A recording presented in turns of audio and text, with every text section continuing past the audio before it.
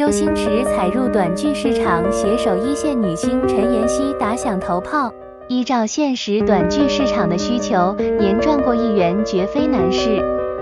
据知，周星驰今次拣选了从未合作的台湾女星陈妍希担任主角，认为她外形不俗且有喜感，很适合拍短视频喜剧。而陈妍希早年受访时曾扬言愿意减片酬跟周星驰合作，双方可谓一拍即合。周星驰宣布发起短剧项目“九五二七剧场”，计划呢联合优秀的青年创作者，基于账号“周星驰导演作品”，面向用户进行内容创作。该项目的首部作品是由周星驰出品、易小星监制的《金珠玉叶》，预计将于今年五月份和观众见面。周星驰在接受采访时表示，短剧是近年来科技创新和媒介创新的一个迅速发展的领域，希望可以带给观众更多的欢乐。在九五二七剧场发布的首张海报当中呢，我们可以看到许多周星驰经典电影的元素，就比如说《食神》《喜剧之王》《长江七号》和《美人鱼》等等。我们回顾这些作品，它们既是轻松幽默的喜剧电影，同时呢，也是细致入微、打动人心的小人物故事。这样的创作风格和短剧的传播特点有契合之处，再加上周星驰过去的作品为广大观众所熟知和喜爱，九五二七剧场一经发布就引起了全网的关注。近日，由浙江广电集团旗下蓝色星空等联合出品的贺岁电影《新喜剧之王》在杭州举行盛大路演活动。导演兼编剧周星驰携影片主演鄂靖文、黄霄鹏等现身现场。周星驰凭借在华语影坛的号召力，让影片未映先红。当天的商城被热情包围，全场尖叫不断。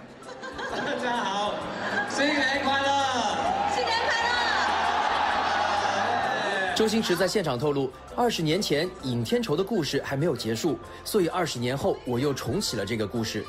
影片中融入了周星驰二十年的人生感悟，将临时演员跑龙套的励志故事重新演绎，以努力奋斗出征贺岁档。周星驰表示，《新喜剧之王》是一部致敬平凡人的电影，只要不放弃，每个人都能够成为自己领域的喜剧之王。影片目前已开启全国预售，在新浪微博和百度指数的同期影片排名中位列第一。影片将于二月五日大年初一在全国上映，各位观众一定不要错过。有人到现场，有没有工作反应的？有的，做开心反应，难过，嗯，滚。麻烦做个痛苦的反应看看。这个就是假的。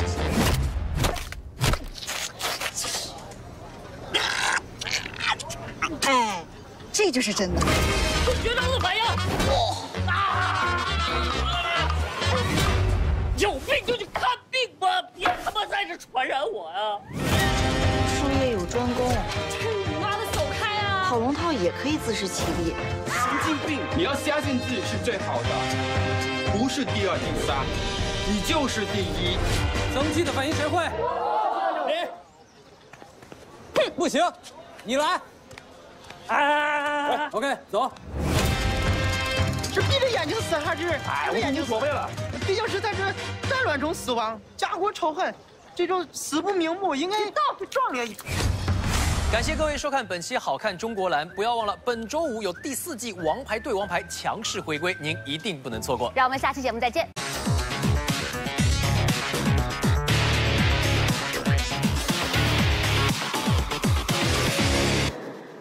亲爱的观众朋友们，大家晚上好，欢迎收看今天的《好看中国蓝》，我是长庚。各位好，我是罗西。由秦俊杰和徐璐领衔主演的谍战剧《天衣无缝》正在我们浙江卫视中国蓝剧场火热播出。没错，作为二零一九年的开年大戏啊，这部剧可以称得上是一部非常精良的作品了。但是你有没有发现，这个剧当中的人物关系真的非常的复杂？我一开始呢真的是看得云里雾里，哎，但是连续看了几集之后，我发现真的太好看了，根本停不下来。没错，我相信很多人都有这样的感觉。那么在接下来的剧情当中呢，小资质问资立群是否爱过桂婉，为什么又要杀害他？而当资立群说出自己的理由之后呢，更加是怒斥小资不该牵扯进来。这时候呢，桂义啊铁定了心要去救出小资，甚至呢有一些失去了理智。林景轩万般的阻拦都阻拦不住，但是呢凭他们对资历群的了解，桂义觉得呀，小资不是被动刑，而是可能直接被他们处死。资历群把一颗小药片放到了小资的面前，小资问大哥说：“是不是铁了心要自己的命？”但是看到资历群的表情之后啊，他知道大哥这次是真的下定了心。那么小资真的会死在自己大哥的手上吗？让我们马上接着往下看。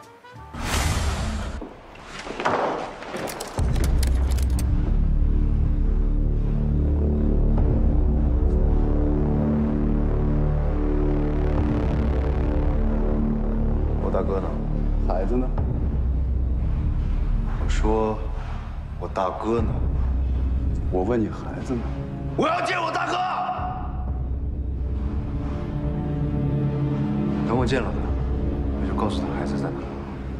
资科长和资先生去了特派员公署。为什么？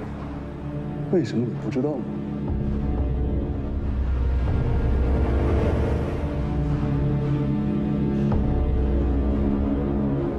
我被桂义打了一枪，给我找个医生。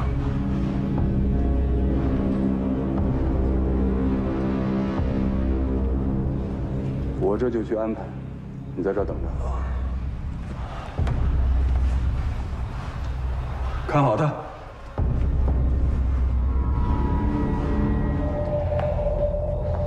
子先生，我找了一套全新的人马，那是经过深思熟虑的。我之所以不让你们兄弟来露面，也是经过慎重考虑的。你要知道，你们兄弟二人渊源深厚，一旦让他发现了你们的踪迹，新账老账一起算，就会扰乱我们的大局。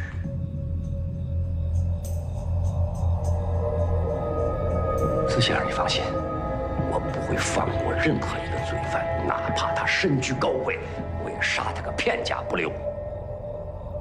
我明白，都是为了党国的利益。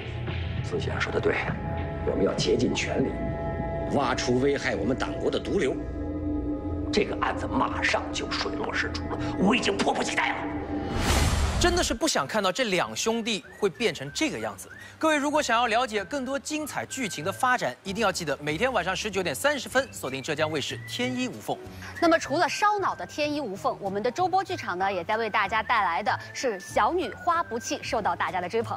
在今晚的剧情当中，七王爷啊是病重了。这个时候啊，陈玉听说苏州有一位神医，于是呢，他就带上了袁崇到苏州来找这位神医，去为七王爷治病。嗯，那另一边呢？为了试探身边的人和对朱府有敌意的人，这花不弃啊，决定以身当成诱饵，决定跟小虾呢调换一下身份，一起去试探一下。他把小虾呢装扮成了这朱家的孙小姐，然后把自己呢打扮成了婢女的样子。这两个人啊就出门去微服私访了。刚刚出门，这花不期跟小虾就来到了醉一台吃饭。这个时候啊，苏州当地的地痞吴老虎也在这里吃饭，看到了这两个非常漂亮的女孩子，就上前去调戏。这个时候，正在吃饭的袁崇出手相助。哎，他会认出这就是花不弃吗？让我们接着往下看。的自办栏目，接下来马上为您送上。这山外有山，人外有人。天子在家也需要后天的勤加苦练，不要想着一步登天。这一招一式，一拳一腿，都是要靠自己磨练出来的。天下武林的王牌之争才刚刚开始。